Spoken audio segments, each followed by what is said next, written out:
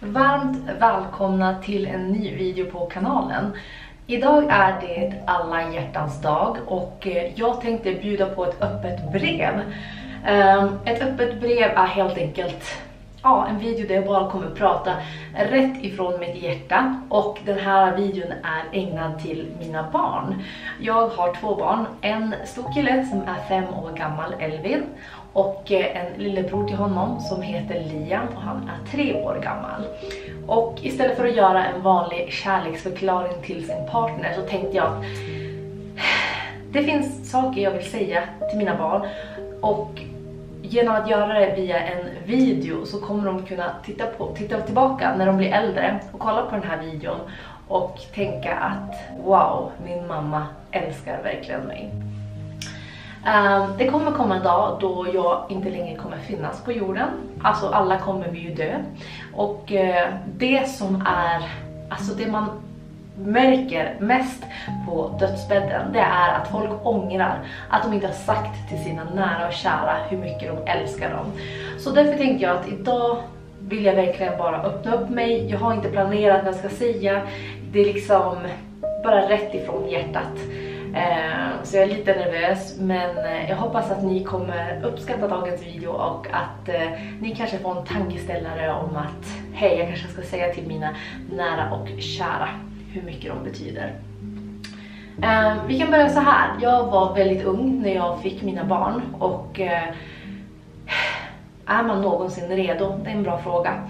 Men jag kan säga så här att den dagen Elvin, min förstfödda son, föddes så förändrades hela mitt liv. Eh, det blev väldigt, det blev en stor skillnad för mig. Ehm, livet totalt vändes upp och ner.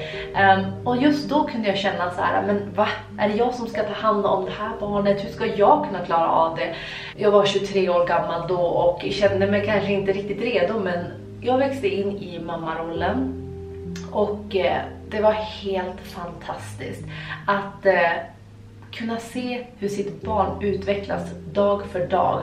Från att bara amma till att börja äta, till att börja gå, till att börja skratta, till att börja prata. Den utvecklingen är magisk. Visst, det var väldigt många tunga nätter, mycket skrik, mycket gråtande, mycket tröstande.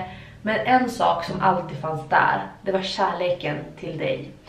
Eh, jag kan inte beskriva med ord den, de känslorna man får till sitt barn. Efter eh, ett och ett halvt år med Elvin blev jag gravid igen, eller efter ett år faktiskt blev jag gravid. Ehm, Elvin var ett år och åtta månader när Liam kom till och då blev det dubbelt upp. Alltså double trouble. Nej, men det var också en väldigt stor skillnad i livet. Um, att ha två barn gentemot ett barn, det är som att ha ett barn versus tio barn. Um, händerna räcker inte till, alltså natten räcker inte till, sömnen är på minus och uh, ja, livet blir verkligen omställt. Men jag kände många gånger att det var väldigt tufft att eh, ta hand om två barn, även fast jag har min partner och men vi har ändå rest mycket och Ehm, ja men det är tufft att rodda två barn helt enkelt. Ehm, jag kände att många gånger var livet verkligen, det var ganska jobbigt. Jag hade inte föreställt mig att det skulle bli så här pass jobbigt. Ehm, men på något sätt så när det är jobbigt så är det det som styrker ens kärlek. Jag kan inte ens, jag, kan, jag, alltså jag kunde inte föreställa mig hur är det möjligt att älska två små barn så mycket så som jag gör idag. Jag skakar liksom i kroppen nu när jag tänker på hur mycket ni betyder för mig. Ni betyder verkligen allt.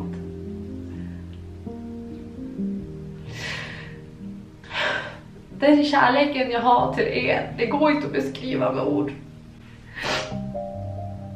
Jag visste inte att jag skulle känna så här. Jag har aldrig tänkt att jag har varit en person som älskar barn så mycket.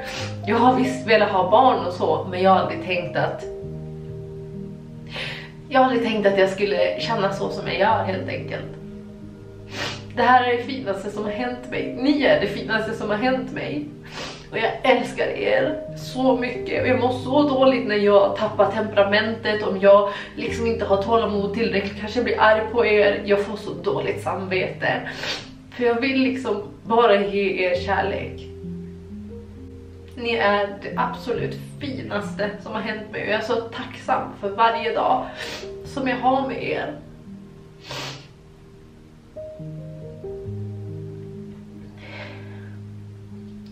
Tanken på att ni ska vara ledsna, bli sårade, bli utsatta för någonting, den tanken gör mig förkrossad. Att se att ni inte skulle kunna vara lyckliga eller att ni kanske inte skulle ha vänner, vad som helst, man vet aldrig vad livet liksom stöter på.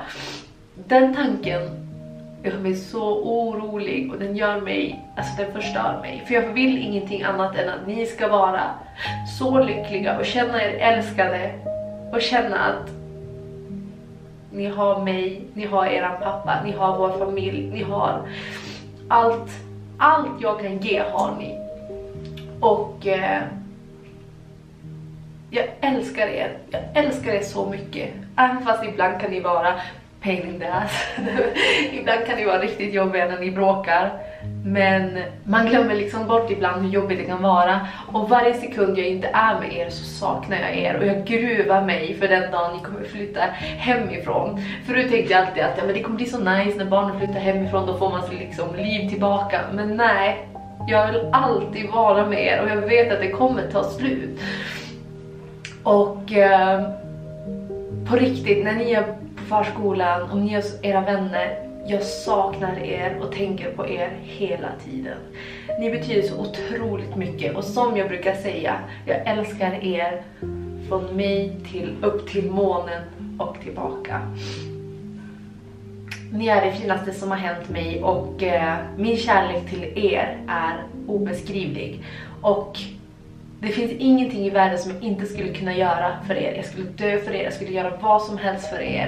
Ni är mitt allt och ni betyder mest.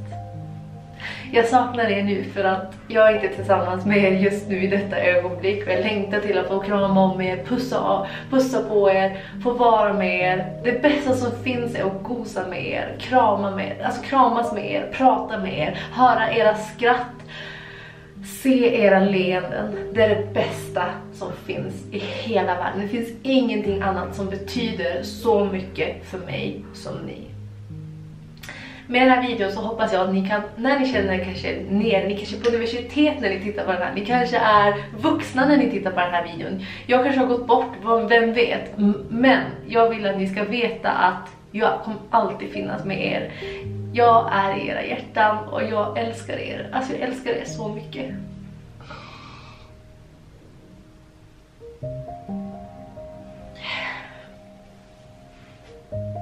Ta hand om er. Behandla alltid andra som ni själva vill bli behandlade. Fina, fina Elvin, fina, fina Liam. Mamma älskar er.